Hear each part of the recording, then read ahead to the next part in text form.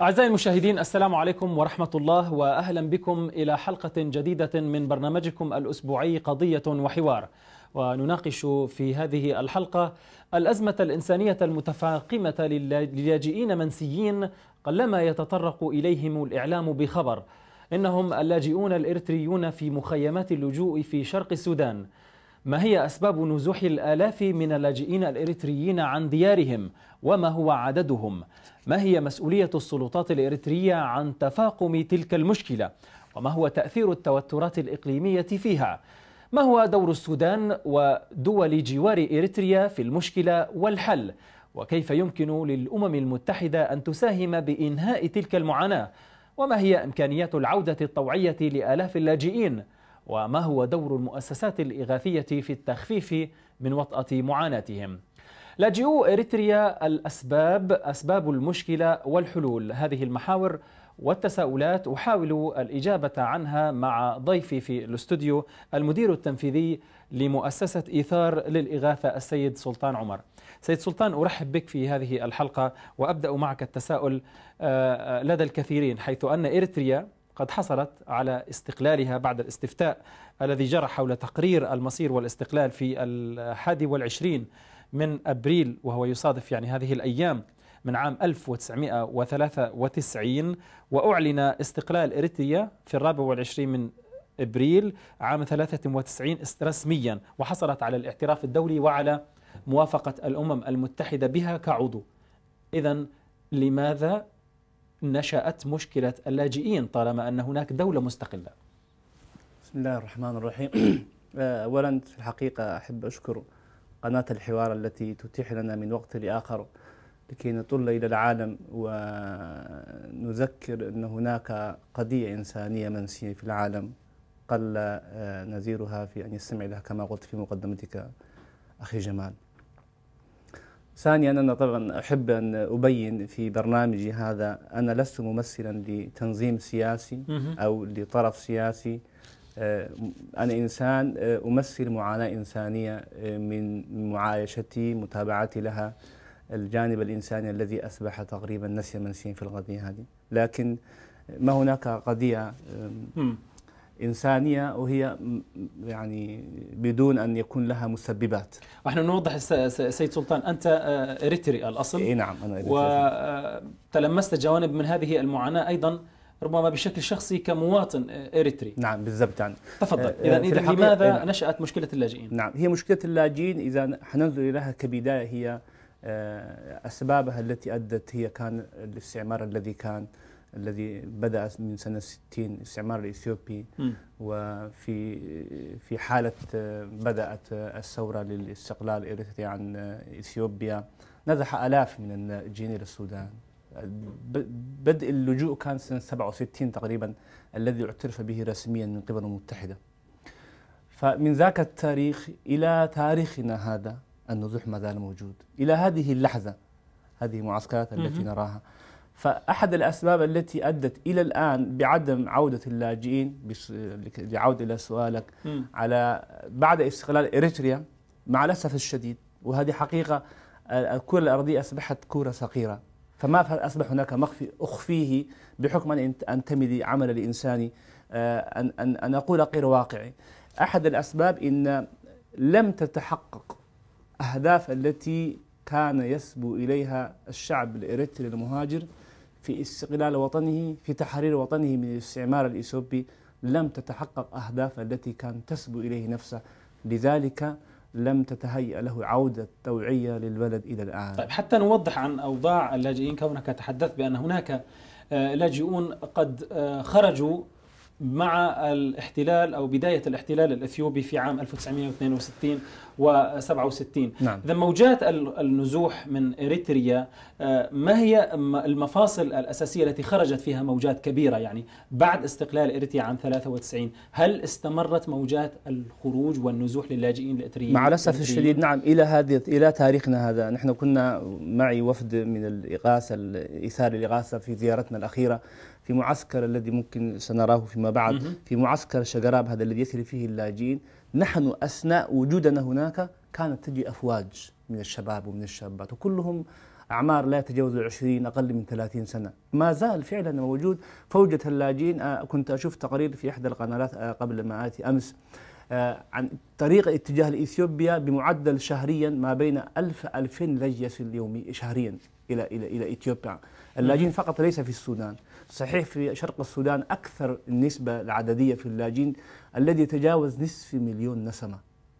وكذلك عدد اللاجئين في الاثيوبيا وفي اليمن وفي الكينيا وفي جيبوتي أعداد هائلة جدا لا يعني هذه الأعداد الضخمة التي ذكرتها تقدير آه، الرسمي الإريتري لعدد اللاجئين هو حوالي نصف مليون والمفوضية العليا للاجئين في الأمم المتحدة تقدرهم ب 300 ألف. آه، هذا الاختلاف بين العددين آه، إلى ما إلى ما يعود برأيك؟ يعود آه، في هذا الجانب عندما كان الجانب الإريتري يقول نصف مليون نسمة والأمم المتحدة كانت تقول 300 300 ألف نسمة. كانت هناك مفاوضات عودة اللاجئين إلى السودان إلى إلى إريتريا عودة طوعية. طبعا هذه كان الحكومة الإريترية كان لها مطالب وكان لها أجندتها الخاصة. وأمم المتحدة كان لها وجهة نظر في عودتهم وفي عادتهم بعدد الذي تراه أو كما اللي كان في سجلاتها.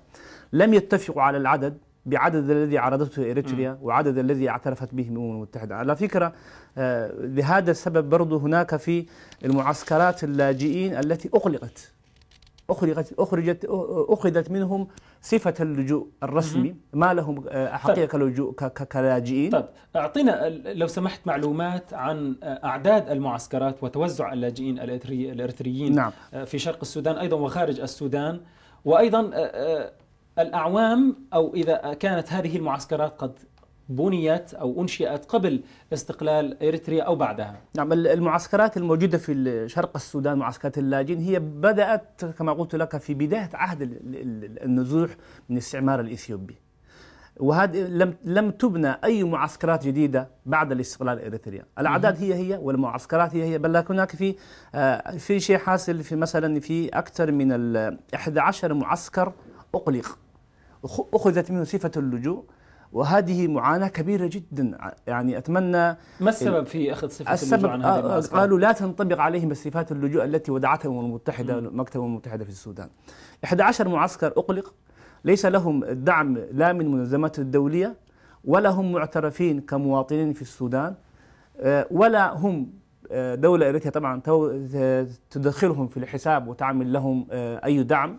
خارجين من حسابها هذا ال 11 معسكر يعاني معاناة فظيعة جدا وهي كم هي نسبتهم من آه، نسبة عدد اللاجئين الكلي؟ العدد اللاجئين الكلي في شرق السودان لا يقل عن عن نصف مليون نسمة م. لكن ما زال برضه هذا فينا يعني العدد اللاجئين الأكبر الحجم الأكبر هو في مخيمات شرق السودان بالضبط نعم لكن المعسكرات التي اغلق أو التي لم يتم الاعتراف بها من قبل مفوضية اللاجئين كلاجئين كم تشكل نسبتها من كل المعسكرات؟ تشكل والله 11 معسكر اغلق من أصل؟ من اصل 11 آه، من اصل 18 معسكر. م. 11 معسكر هذا النصف. نعم 11 معسكر هذا أقلق وأخذت منه صفة اللجوء وليس لهم الآن في زيارتنا الأخيرة ما استطعنا أن ندخل لأن ليس لهم آه، صفة اللجوء الرسمية التي يعتبرونها. بما أن في الحقيقة ممكن حنأتي على هدى على في هذا الموقف برضو. حتى المعسكرات التي لها أخي جمال الصفة الرسمية للجوء ما يعطى لهم من المساعدات يعني شيء يشيب لها الولدان. من هذا معترفين به فقط لمن هو النسبة 30% في معسكرات الباقية يعطى لهم دعم من هم عجزة وأطفال والنساء. ولا يصلهم شيء. وما يعطونه لهم لا يتجاوز ما يسد رمقهم لمدة أربعة أيام. سنتحدث عن وجوه المعاناة ولكن لماذا تتخلى الأمم المتحدة عن هذا العدد الهائل من المخيمات التي وصفتها المعاناة الإنسانية الكبيرة والمتفاقمة فيها. والله آه، آه، يعني أحد الأسباب التي آه، تخلت عنها تقول أولا قالوا إن الأسباب اللجوء التي كانوا لجوا لأجلها نفدت بمعنى الإريتريا استقلت ظاهريا أصبحت دولة مستقلة المفروض هذول يرجعوا للبلد. طبعا حصلت اتفاقيات العودة الطوعية بين بين الحكومة الإريترية وحكومة السودان طبعا عندما يذكر السودان في قضية اللاجئين صراحة السودان ينبغي أن يشكر على دوره البناء الذي هو أحتوى به قضية الإريتريا منذ نشأتها إلى تاريخنا هذا. ولكن أخي جمال تعرف السودان أولا ضيافتنا طالت في السودان ثانيا السودان بحكم ارتباطه الجغرافي من أكثر من ست دول الدول المجاورة فكل ما تأتي إليه من مشاكل من الصعب أن يحتويها دائما. كيف تعامل يعني باختصار كيف تعاملت الحكومة السودانية والسلطات السودانية مع وجود نصف مليون إنسان من اللاجئين داخل دولتها؟ والله صراحة هذا جانب يعني ينبغي أن يشكروا فيه. قدموا ما يستطيعوا من العطاء. آه، حكومة السودان لأنه ترى الآن آه، بكمية الهائلة من الأعداد الموجودة. التعاون السلس المريح الذي يجدونه هو يجدونه من الشعب السوداني ومن حكومة السودان بدون شك. فيعطوا لهم يعني تجد الآن كم مئات من الطلاب عندنا يدرسوا في الجامعات وكم من الطلاب يدرسوا في المعاهد في المدارس. ولكن رغم ذلك كلها ما ما تعطيه حكومة السودان وشعب السودان. حاجة اللاجئين السودان الاريتريين تجاوزت بمعنى الكلمة ان استيعاب السودان بنفسه لأنه يعني موضوع طال به الزمن هو خاصة أن السودان نفسه يعني يعاني من المشاكل يعاني من المشاكل الاقتصاديه ويعاني من المؤامرات الدوليه ما, ما نحتاج إنسان يصفها لكن رغم ذلك هم بيقدموا ما يستطيعوا لشعبنا وجزاهم الله خير على هذا. ولكن هذا لا يكفي آه، بما يعطونه بان ان يتوقعوا إلى إلى هذا الحد، المطلوب من السودان وحكومة السودان أكثر بأن تدعم هؤلاء اللاجئين أن تسعى بكل ما تستطيع أن توفر لهم عوده مشرفه إلى اوطانهم إلى ديارهم. وأنا في هذا أناشد حكومة السودان بما تستطيع أن تقوم بهذا الدور الانساني الكبير كيف يمكن للسودان أن تقوم بدور إذا كان المسؤول الأول والأبرز ظاهريا هي الحكومة الإريترية كون هؤلاء هم مواطنون إريتريون خرجوا أثناء الاحتلال الإثيوبي والآن هناك برنامج لعودتهم الطوعية تم التشاور مع الحكومة الاريتريه من أجل تطبيقه. مع الأسف آه، على حسب متابعتي للأمر بأن الحكومة الاريتريه فعلا آه، يعني أنا لست بدور ان أن أنتقد الدولة كإنسان سياسي ولكن هذا جانب إنساني له معاناته. الدولة الإريترية برضو ينبغي أن أن تراعي هذا الهدف آه، النبيل للشعب أن ترعى مصالحه المفروض الحكومة الإريترية على رأسها الرئيس الإريتري كان أهدافهم التي سعوا لأجلها لتحقيقها على مدى زمن الثورة هو لرفع المعاناة عن الشعب الإريتري. هؤلاء ينتموا إلى إريتريا هؤلاء شعب إريتريا هؤلاء أجيال من إريتريا هاجرت لأنها لم تجد المأمن فحكومة إريتريا ينبغي أن تقوم بدورها وتسمح لهم لعودة اللاجئين إلى أوطانهم سالمين معززين مكرمين مدعومين من قبل المتحدة بالشروط التي وضعتها الحكومة إريتريا. ينبغي أن أن لا تغلق الأبواب وتعتبر اللاجئين اليتيم الموجودين في السودان المعارضة ضدها. أبدا بالعكس. ليس هم معارضة ضد النظام الحكومة ولا. الإريترية والمسؤولون الإريتريون دأبوا على القول بأن اللاجئين الموجودين في خارج إريتريا كلهم لاجئون اقتصاديون وظروفهم الاقتصادية والاجتماعية دفعتهم للخروج من أجل البحث عن فرص آه، أفضل وبوابة ربما للخروج إلى آه، أوروبا وغيرها من الدول. وليس هناك أسباب سياسية تمنع الحكومة الإريترية من عودة أي منهم. والله هذا برضو أخ جمال جانب سياسي لكن لابد أن أجاوب عليه. صراحة هذا ينتقد الواقع. هذا مش مو حقيقة هذا. الشعب الإريتري يتناقض مع الواقع الواقع اللي, اللي هو الموجود. أنا كنت في معسكرات اللاجئين في شرق السودان حينما سألت الشباب كلهم. يعني نفس اللحظة الذين وصلوا. واحد منهم كان جيش رقيب في الجيش تقريبا أكثر من 15 سنة. قال قلت له أسألك سؤال إيش السبب اللي جابك؟ اولا خاف قلت له يا أخي نحن جايين من بريطانيا منظمه إنسانية ما عندنا علاقة بشيء بس نحن نحب ننقل معاناتكم للآخرين اللي يعرفوا. قال لي ما في مستقبل في إريتريا. قلت له ليش؟ أنا مجند قال لي أكثر من 15 سنة. ما ترك لي المجال لكي أرعى شؤون أسرتي وأهلي وأولادي. كيف أعيش؟ القضية مش قضية الاقتصاد. القضية مش قضية التي تطرح كثيرا. البعض يرى بأنها هذه المشكلة هي مشكلة داخلية قد تكون في أي دولة في إطار التحرر الوطني. كون إريتريا كانت فترة طويلة تحت الاحتلال. فيعني لماذا على الأمم المتحدة أو المؤسسات الغذائية أن تراعي هذا الشرط؟ إذا كان ربما قد يوجد في أي مشكلة وهو مشكلة داخلية.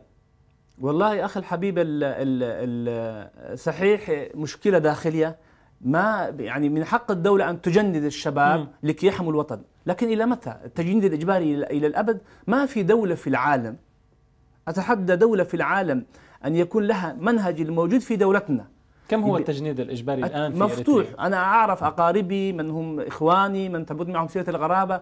تقريبا 20 سنة في التجنيد. إلى متى التجنيد الإجباري؟ ما يسير.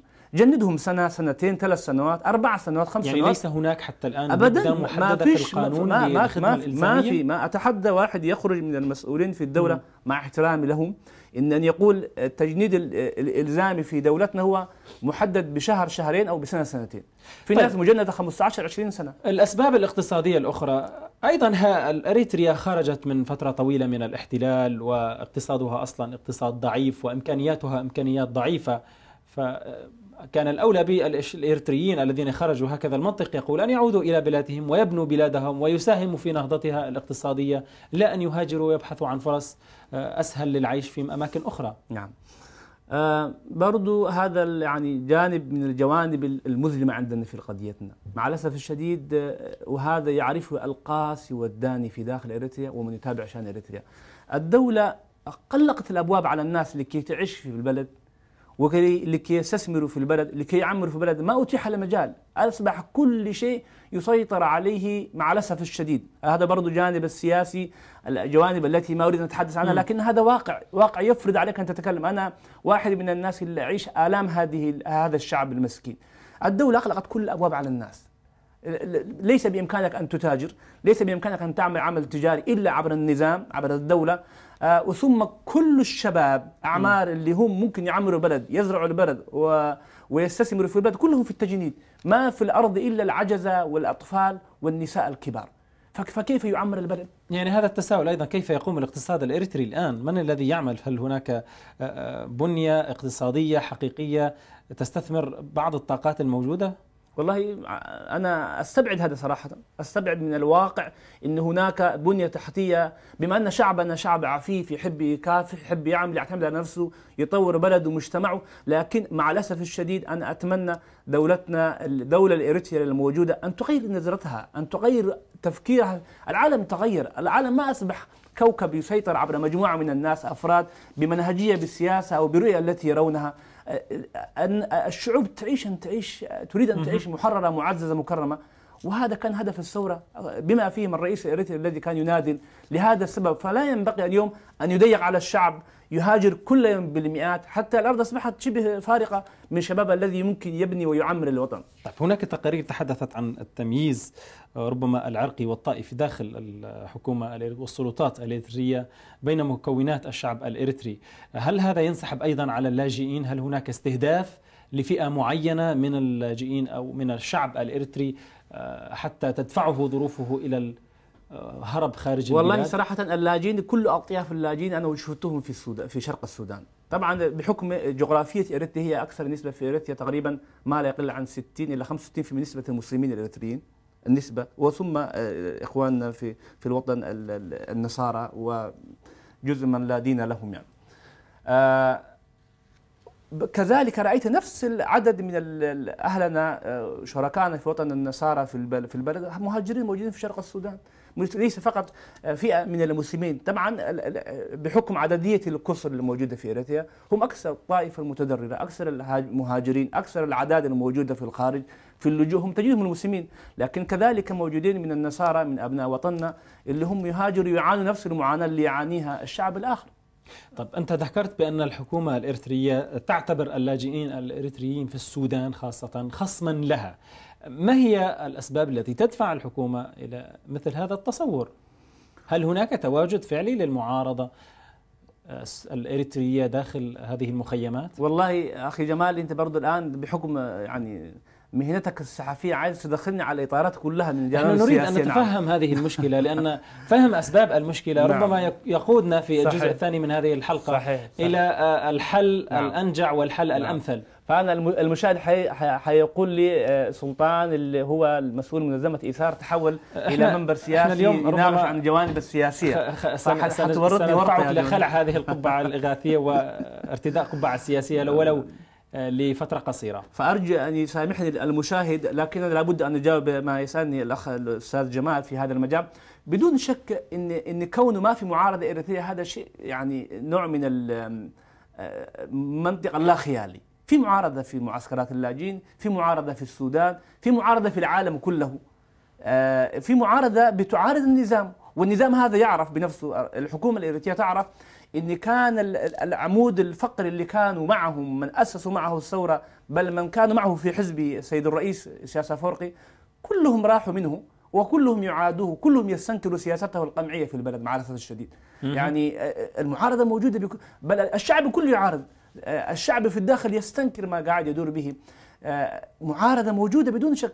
لو تسأل أي واحد من مسؤول النظام من مسؤول مسؤولي في الحكومة مع الاسف الشديد حيقولوا لك ما في معارضة يعترف بها، دولة في العالم تقول لك ما عندنا معارضة عندنا دولتنا الموقرة في اريتريا، إنما في معارضة فعلا، معارضة الشعب هذا اللي يهاجر المشرد في العالم، ليش؟ صدقني ما كان حيخرجوا من أجل الاقتصاد والفقر، لكن في قهر عندهم في البلد، الشعب مضطهد في ما, ما فيش حرية، النظام الواحد الحاكم في البلد. هو بالتأكيد هذه وجود المعارضة لا ينفي ولا يتعارض مع كون هذا الكم الكبير جدا من اللاجئين هم مواطنون إريتريون ولديهم حاجات ولديهم طبعا الحقوق في العودة إلى بلادهم العودة العودة الطوعية.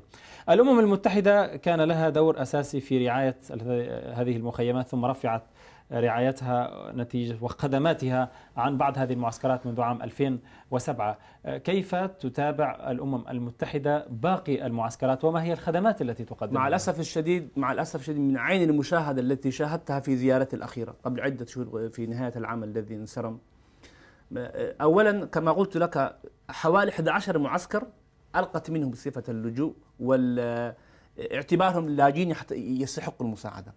والباقي حوالي سبعة معسكر أو تسعة معسكر الموجود يعطى له ما نسبته 30% من احتياجاتهم.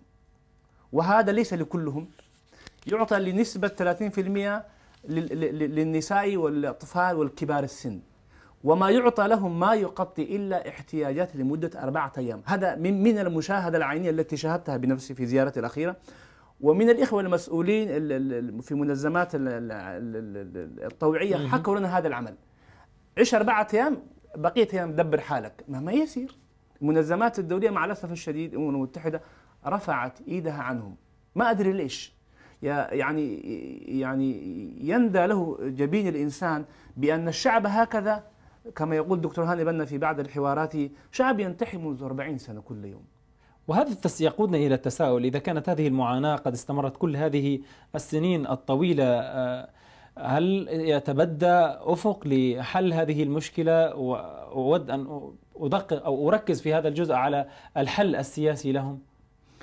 الحل الحل الحل السياسي موجود بس لكن الحل السياسي هذا له أطراف ينبغي أن تلعب فيه الدور الأساسي. أولا الحكومة الإريترية. ينبغي أن تعتبر هؤلاء شعب إريتري ينبغي أن يعود إلى ولد إلى وطنه ويعمر أرضه ويعيش في أرضه معزز مكرم. حكومة الحكومة الإريترية ينبغي أن تفتح مجال لهؤلاء أن لا تعتبرهم أعداء لها. بالعكس ما ما مو هم أعداء لها. بدون شك حكومة إريترية تعرف إن لها أعداء لكن ليس كل من هاجر وموجود في معسكرات اللاجئين هم أعداء لها. إن سمحت لهم يعودوا يعيشوا في بلادهم حتى المعارضة التي تريد أن تغير الحكومة الإريترية وتريد أن ربما لها نهج آخر في تصريف الأمور في إريتريا؟ والله يعني الله المستعان اليوم البرنامج فعلا كله تحول لمنبر سياسي أخ جمال.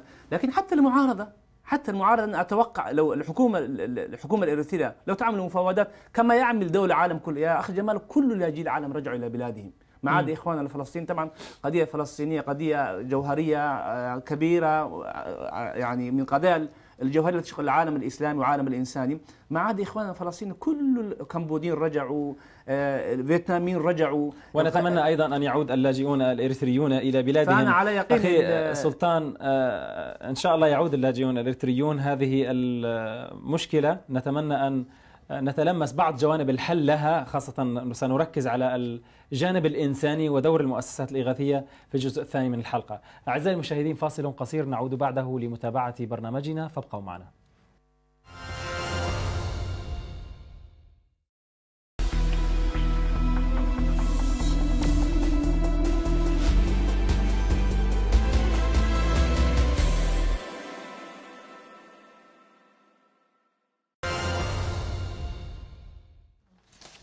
أهلا بكم أعزائي المشاهدين مجددا في هذه الحلقة من قضية وحوار والتي نناقش فيها مشكلة اللاجئين الإريتريين آه، في السودان.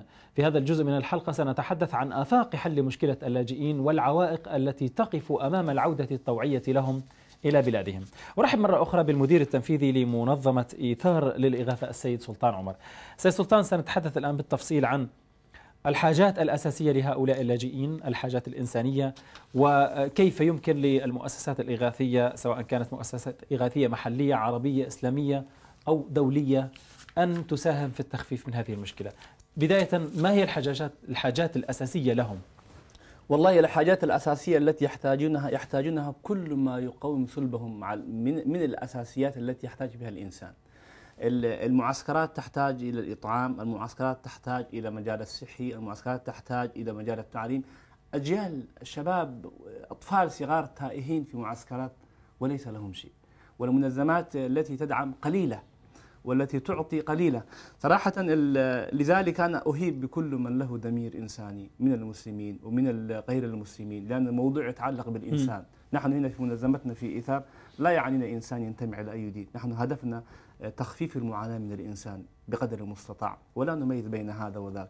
إن كان أمامنا مسلم له قوت قوت لحظة والآخر أمامنا ليس له شيء ما, ما يأكله نحن نفضل هذا الذي ليس له لأن مقاييس التي نتعامل بها مقاييس إنسانية.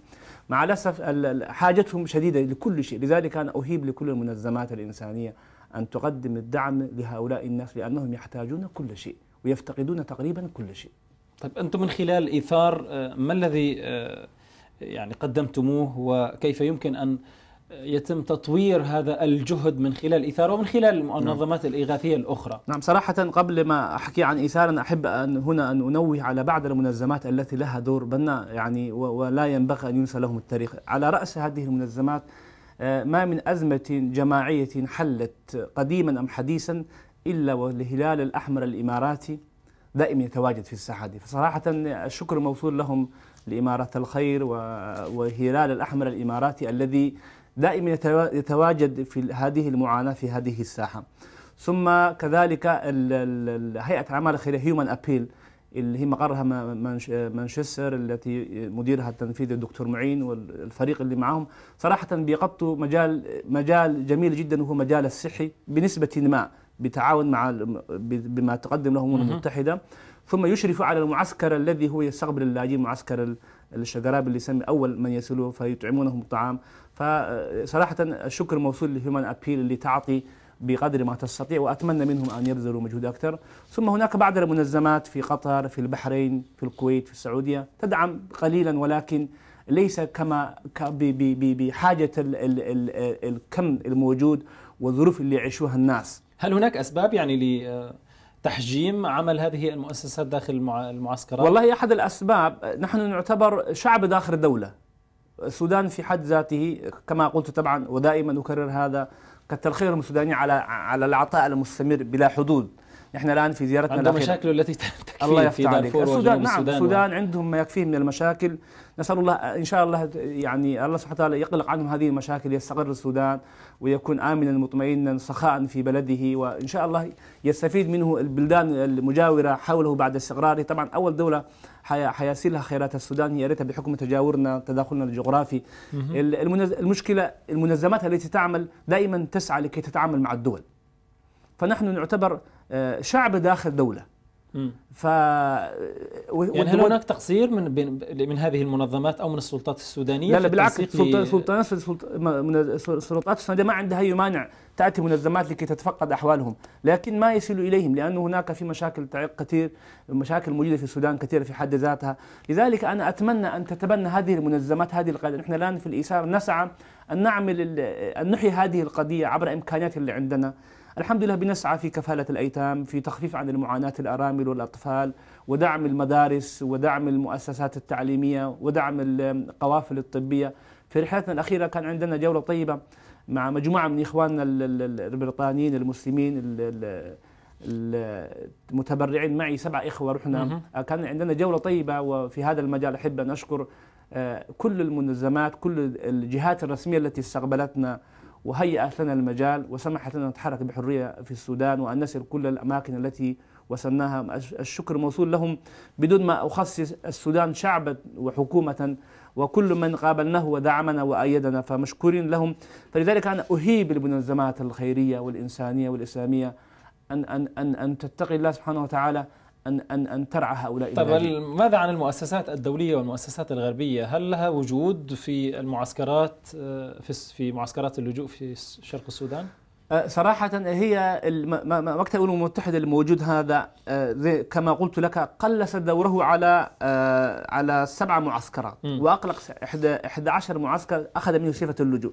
وحتى هذا السبع المعسكر الذي يعطي لهم شيء لا لا يقضي من حوائجهم شيء إلا لمدة أربعة أيام. كيف إذا إذا كيف يعيشون بقية الأيام؟ يعيشوا والله وضعهم مأساوي صراحة. كيف؟ ما ما عندهم شيء يأكلوه ما في حاجة يأكلوها أنا رأيت ناس يحلفون لي بالله إن تمر عليهم أيام ما يجدوا شيء يأكلونه نعم. الله المستعان. طيب إذا الأمم المتحدة عندما تواجه بمثل هذا الظرف ماذا يك... ما هو موقفها؟ ما الذي تقوله؟ بماذا تبرر آه هذا التقصير؟ والله أنا صراحة آه، ما ما رأيت لهم لماذا قبل سنة 2007 عندما رحت. آه، قبل بفترة كان الأمين العام بتاع الأمم المتحدة كان زار وشاف شرق السودان قال أمام الملأ ما كنا نتوقع معاناة اللاجئين بهذا المستوى. فأعتذر للشعب الإريتري الذي عانى هذه المعاناة وسنجعل الأمر يتغير وسندعم. ولكنه من تلك اللحظة إلى هذا التاريخ ما أخذوا خبرهم. أصبحنا في خبر كان. ما أحد يهتم بنا. هل هناك تقصير من قبل من قبل اللاجئين في إريتريا؟ ومن قبل المؤسسة حتى المعارضة الإريترية الموجودة بإيصال رسالتها وبإيصال صوتيها إلى هذه المؤسسات والله الدولية أنا في هذا وجلبها أنا نعم في هذا المجال أنا أهيب لكل الإريتريين عامة سواء كانوا السياسيين المعارضين أن لا يجعلوا قضية اللاجئين هي قضية جزء يتناولونه في عند حاجتهم لاستعراض بأنهم موجودين في الساحة. لذلك أهيب بإخواننا الإريتريين عامة وبالمسلمين خاصة. أنا الآن انتمائي في هذا العمل هو الهدف الأساسي منه لأنني مؤمنا بربي وبديني وبإسلامي المنطلق الأساسي الذي دفعني أن أعمل في الساحة هذه هو إسلامي وديني الذي أعتز به. وهذا لا أستحب منه أن أعلنه في أي مكان. الذي دفعني هو إيماني وإسلامي. لذلك أنا أهيب لكل الإخوان الإرثيين المسلمين في العالم الذين يسمعونني.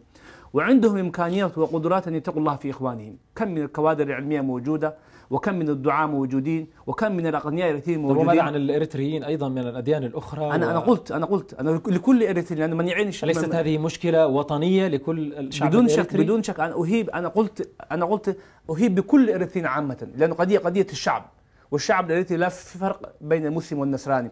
لكن أنا أنا كإنسان مسلم كمنطلق إيماني أوجه رسالتي للمسلمين الإريتريين والله سيصلي أمام الله يوم القيامة.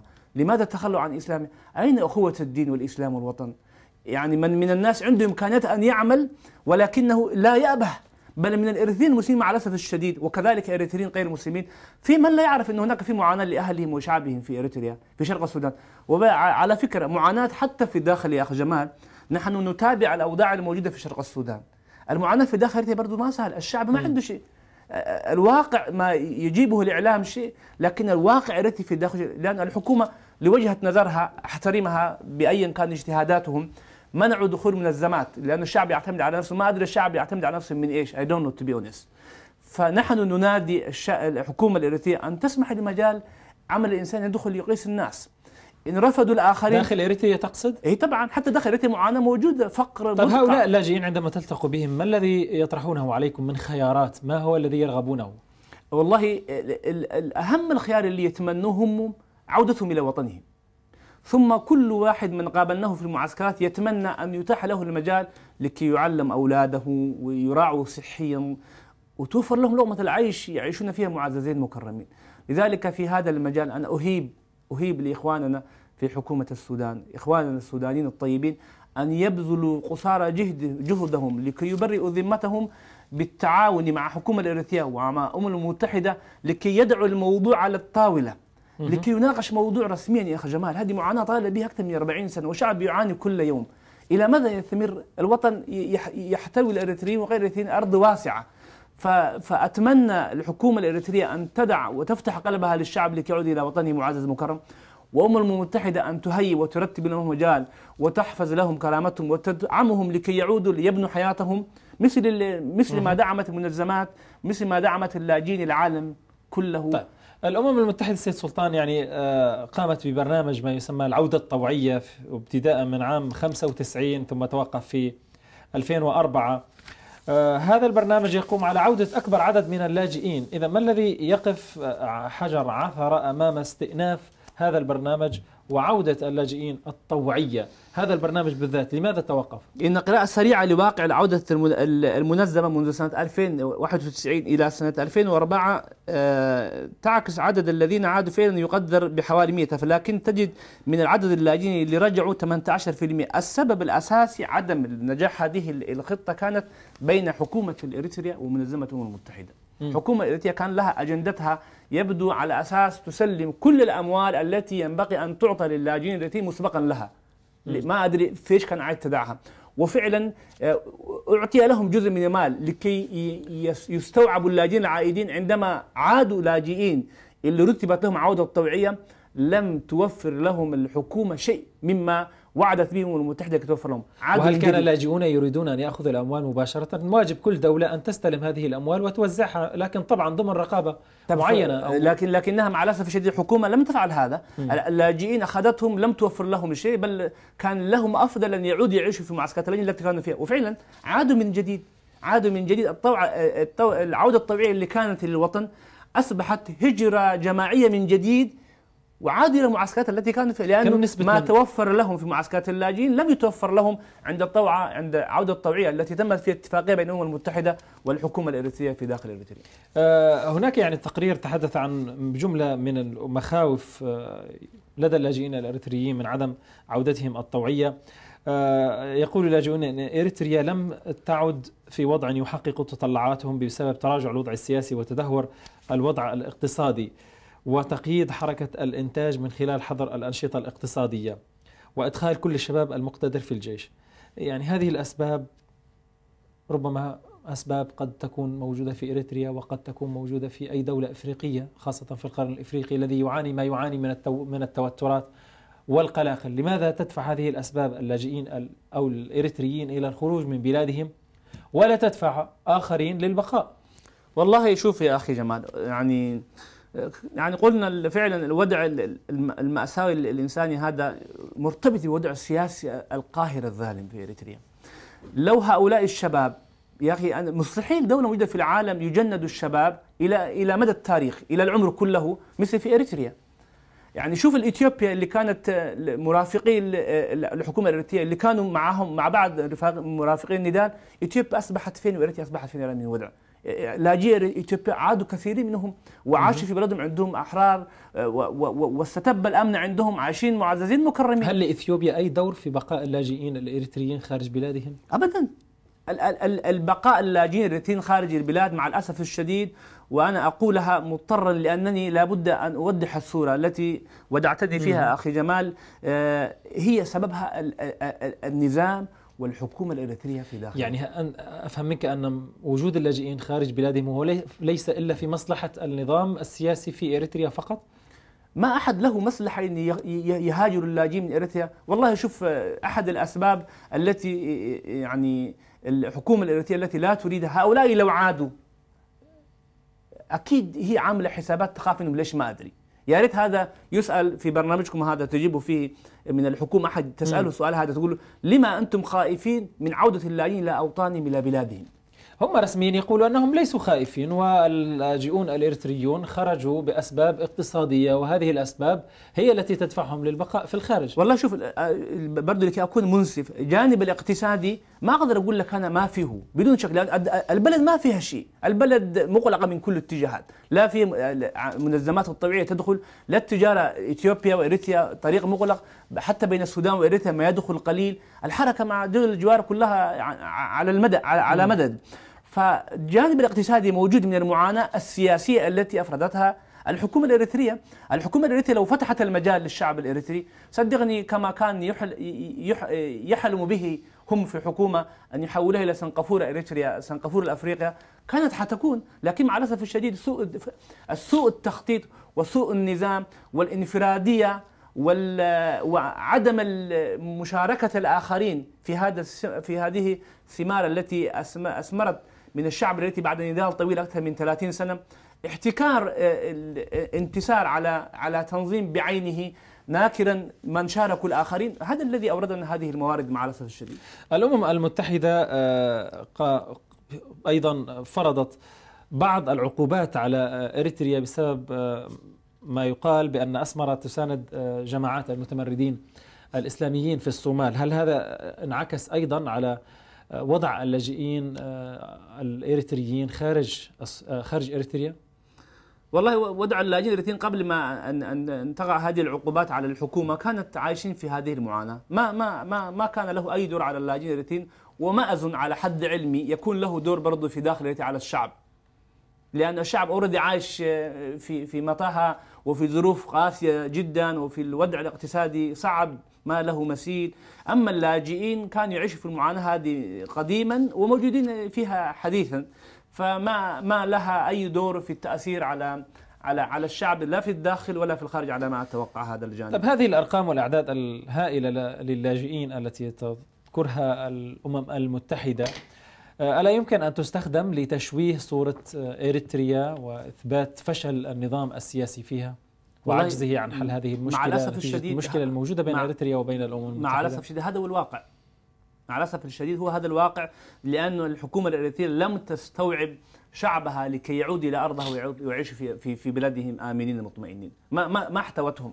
خلتهم بالله عليك لو تتابع الاريتريين يموتوا في البحار وهم يبحثوا عن الأمن، الاريتريين يموتوا على الحدود المصرية آه، وهم يهربوا إلى فلسطين. ومع الأسف الشديد يوم من الأيام ممكن يرجعوا لعالم الإسلام يكون له خنجرة يقتل يعني يعني يضرب بها من وراء للمسلمين وللإريتريين وللعالم العربي، أصبح مأوى للإريتريين يهاجر إلى إلى إلى فلسطين المحتلة تحت احتلال اليهودي مع الأسف الشديد، أنا أناشد والله لكل من له ضمير حي أن يحتوي هذا الشعب أن أن يتقوا الله أن أن يحيوا هذه القضية تساؤل تساؤل أخي سلطان اذا لماذا قل النشاط الإغاثي في معسكرات اللاجئين الاريتريين بشرق السودان؟ والله هذا سؤال محير صراحة. أنا حتى ما أعرف له أسباب. يعني المنظمات الإنسانية لما آه، قلت آه، أو أقلت نشاطها في شرق السودان أنا ما ما أعرف له سبب. الحكومة السودانية أنا على يقين هي تفتح المجال وتعطي بقدر ما تستطيع وما حدت منظمات أن تروح تعمل. لكن المنظمات خاصة الإنسانية الكبيرة لها أهداف واستراتيجية تسعى له بطرقها الخاصة. ما ما ما عندها المعادلة الحقيقية في في في تعاملها في مقاييس الإنسانية البحتة. لو ترى الآن قصه الدارفور هذه مع احترامي لقضية الدارفور أدي لها من مصداقية بما يروجه الإعلام. خلال فترة وجيزة رفعوه إلى السماء سماء, سماء العنان. وقضية اللاجئين التي أكثر وهذا أنا لا أتهاون أن قضية دارفور هي قضية بسيطة. لعل موجود فيها ما فيها شيء مما يقال. ما أدي كم هو من المصداقية لكن فيها شيء ما. طيب انت في حالة هذه في خلال كم سنوات قضية الدارفور أصبحت من قضايا العالميه في كل الإعلام في الجرائد في المحطات وقضية اللاجئين هذه مر عليها 40 سنة من ربما يكون الآن. ربما تكون الاجابه أيضا جزء من مسؤولية الاريتريين في تكوين جماعات آه، آه، ضغط هنا وهناك من أجل آه، توضيح قضيتهم وانصافهم على الأقل من الناحية الإنسانية وعودتهم الطوعية إلى بلادهم وتحسين ظروف العودة. نعم والله كلامك فعلا عين الصواب صدقت كلامك جميل يا اخو أستاذ جمال. لذلك أنا أهيب من جديد. أهيب الاخوان الاريتريين في عندنا اريتريين عندهم إمكانيات في أمريكا في كندا في أستراليا في السويدن في بريطانيا. في شباب عندها قدرات. لكن أقول لهم أخي الحبيب اتق الله وتجاوز عن نفسك وتجاوز عن زوجتك وأولادك. أنت تعود إلى الله عز وجل غدا فارغ اليدين إلا بما قدمته للآخرين. وزنك عند الله عز وجل تنزل إلى القبر لا تملك شيء مهما كنت غنيا. عند الله حسابك يوم القيامة ما قدمته للآخرين. إخوانك بحاجة إلى دعمك وأنت عندك إمكانيات.